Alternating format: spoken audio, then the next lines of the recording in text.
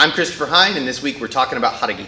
So Haragi literally means belly power, which sounds kind of like a weird way to describe something, but in general it has to do with the alignment and the way I use my body. Usually we're talking about creating strength, so what makes me very strong, and either when I'm resisting force or making force, how can I use this Haragi in, in a special way? So but Haragi is kind of a blanket term. So Haragi could literally be translated as belly power or the power that comes from being in front of my belly. And that is to say that my hands work strongest right here. So when my hands are in front of me, that's where they work the strongest and with the most dexterity. As my hands start to get away from my center, I become weaker and also much less dexterous. So um, in order to have the strongest body alignments, I should always have my hands in front of my center. In addition to that idea of just my hands being stronger here and giving me more dexterity, the shorter my arm levers can be, then the stronger I'll be. I'm going to give you an example of that with Sasha here.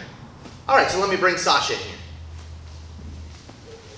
Okay, Sasha, what I'm going to do is I'm going to extend my arm out and, uh, to the side here, and I want you to uh, grab a hold of my wrist and push my arm down. So I'm going to hold my arm out, I'm going to resist you as strongly as I possibly can, and go ahead and push my arm down, and I'm resisting as hard as I can. Okay, so at this lever length, right? So with this lever out here, if Sasha's the very end of that lever, and Sasha only weighs 100 pounds, I weigh twice that, right? It's hard for me to keep her from pushing my hand down. She has enough strength to push my hand down.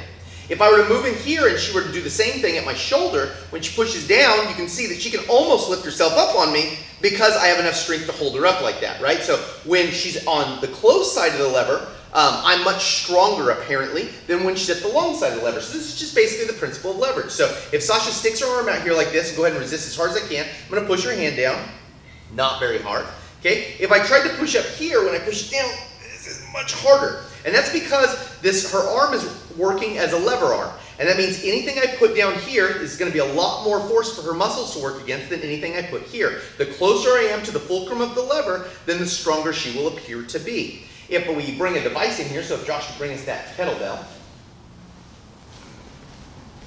All right, so we have a 35 pound kettlebell here. And what Sasha's gonna do is hold it right here in front of her body like this. Now, if Sasha were to move it off to either the right or left, you can see she's starting to have a really hard time holding it up. She doesn't want to hold it there very long because it's so heavy. But by making these levers short like this and holding it right in the center of her body, she's able to hold a much heavier weight than she would be able to do otherwise. Thank you, Sasha.